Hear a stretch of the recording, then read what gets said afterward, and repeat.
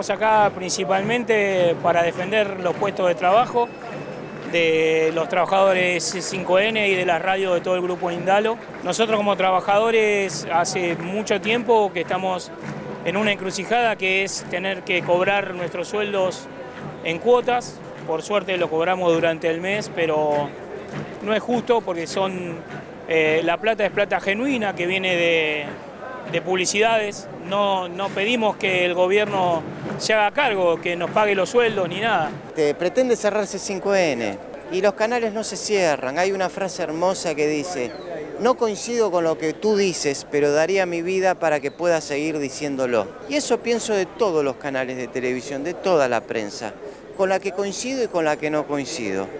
¿Qué quiere hacer el juez vasallo, el juez de cámara? Cerrar la cuenta sueldo, sueldo de C5N con el pretexto que C5N tiene una deuda con el fisco. Si tiene una deuda, que la pague. Las deudas hay que pagarlas. Ahora, para pagar la deuda, tiene que estar abierta la empresa. Para estar abierta tiene que tener trabajadores. Para que haya trabajadores tiene que tener cuenta sueldo. Si le cierra la cuenta sueldo no van a pagar la deuda.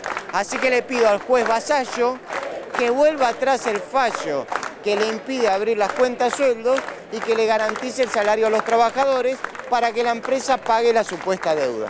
Defendiendo a los trabajadores de C5N, repudiando el fallo de la justicia ordenado por, por Mauricio Macri. No tengo la menor duda que lo ha ordenado Mauricio Macri. El gobierno es el gobierno que más ha manipulado la justicia.